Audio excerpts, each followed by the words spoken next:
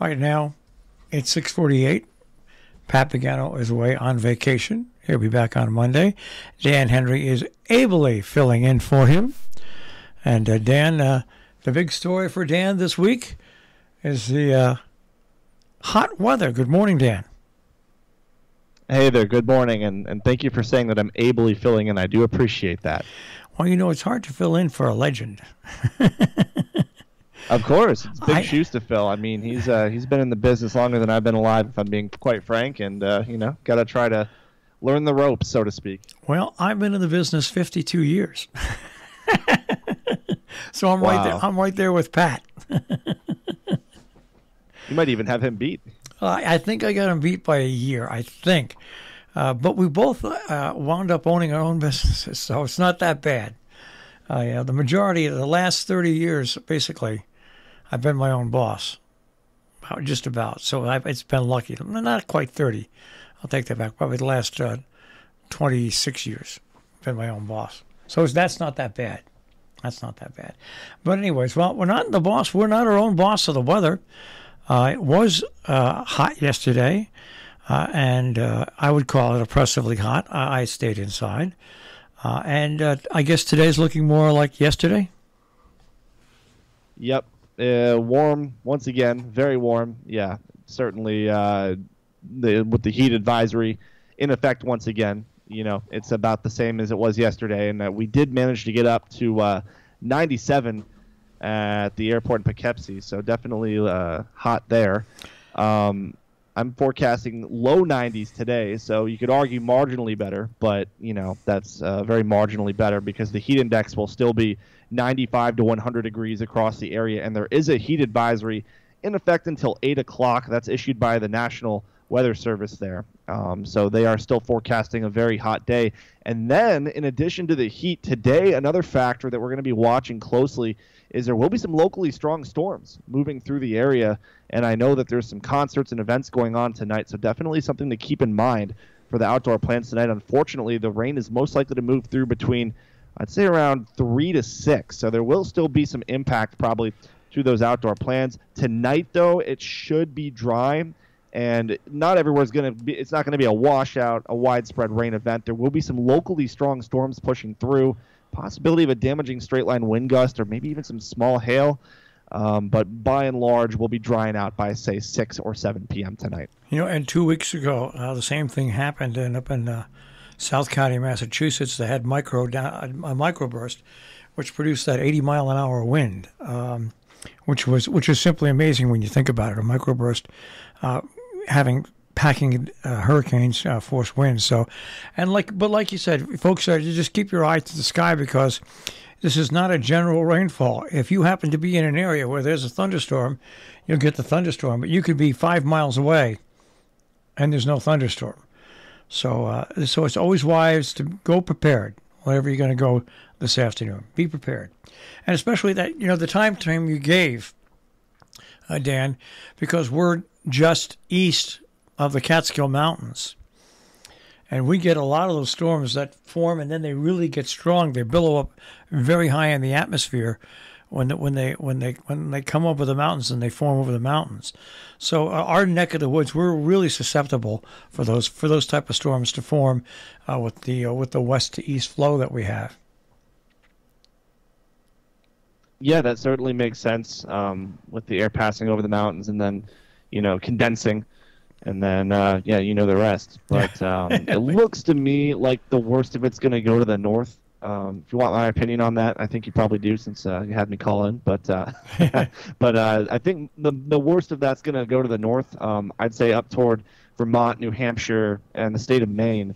Um, they're going to probably receive the brunt of the energy from this front, and um, that's where the Storm Prediction Center has uh, circled in the highest chance of strong storms today would be in those areas, western Massachusetts, and uh, large to the east of the Hudson River Valley. So um, I'm optimistic that the storms will be few and far between um, in this area. So that's what I'm hoping for. Certainly, with all the events going on, the farther east you go, the better chance you have of running into some strong stuff tonight. All right, now will these uh, thunderstorms break the heat wave, or will we still stay warm and humid?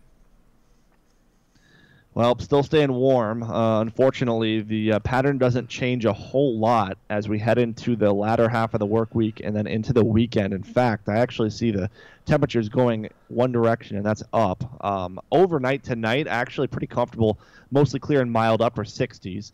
Friday, sun and clouds, a few stray uh, late day downpours. I can't rule those out. Low 90s for a high. Friday night, isolated showers early, so we're keeping the little bit of rain here and there sort of situation going uh, Friday night. Start off the weekend mid 60s, but we warm from the mid 60s to the mid 90s on Saturday afternoon with the heat index feeling like 100 both Saturday and Sunday. Very hot and humid both days, mid 90s for both weekend days. So now, uh, did you see where the Mars Mars rover found a bundle of, of string on Mars? I did not see this. Yeah, it's got a picture of a bundle of string. Kind of makes you wonder. Hopefully, it fell off the Mars rover itself. but there it is, right on the Martian surface. Just a, a or maybe it's it's some leftover dead uh, plant life. But it looks they're they're saying it's a it's a actual bundle of string. So We'll have to see. Wow. We'll have to. We'll have to see what, what comes of that. It's amazing what we can see now. With uh, first it was the Hubble. Now we've got this new telescope. We've got a, a rover that's been running around on Mars, and we've got what uh, Voyager one and two, billions of miles out in the universe, still sending back data. Uh, they've been up there for 50 years. It's just amazing, the technology, and uh, that goes into these things. We're so we're so small in the in the scope of the universe. And uh, my knowledge of the my knowledge of space my expertise of space extends to about about 12 miles above the earth's surface. And then uh, you probably know as much as me but it still is fascinating to me to see all the you know things that we uh, are the pictures we're getting back. Of course the, the james webb telescope i believe it's called the one that they yeah. just put up the high res one. That's fascinating too all the pictures we're starting to receive from that. It's a it's a nice time to be uh, you know in the sciences and just with all the technology we have. Just think, uh, just think how small we are. I mean, we're just the pictures that we're getting from from billions of miles away, folks. as much as we toil and trouble and and do things on this on this earth that we live on, we're not even a speck. and and if you so if you go back and you watch Star Wars movies, and the, the, the logo comes up long ago in a galaxy far away, it really means a lot now after we have how, how far we can see into space and the different galaxies. It just really is amazing. It should it should make us all feel a little uh, a little less uh, rambunctious. That's all I'll say. All right. Well, uh, don't give don't give us a rambunctious forecast, but let's go over the forecast for today and the rest of this week. Sure thing. So for today, clouds building this afternoon with scattered showers and a locally strong storm possible for the early evening, low 90s for a high. Tonight, mostly clear and mild, uh, upper 60s. Friday, sun and clouds, then a stray late day downpour possible, low 90s. Friday night, isolated showers early, then clearing, mid 60s. And then the extended forecast for the weekend Saturday, mostly sunny and hot, mid 90s for a high that's 10 degrees above normal. Sunday, very hot and humid with scattered afternoon downpours, mid 90s, feeling like 100. All right, Dan, have a good day. We'll speak to you again tomorrow. All right, you too, sir. Thank you. Take care. Uh, Dan Henry and the Weather Center with a check on our tri state forecast here on Robin Hood Radio.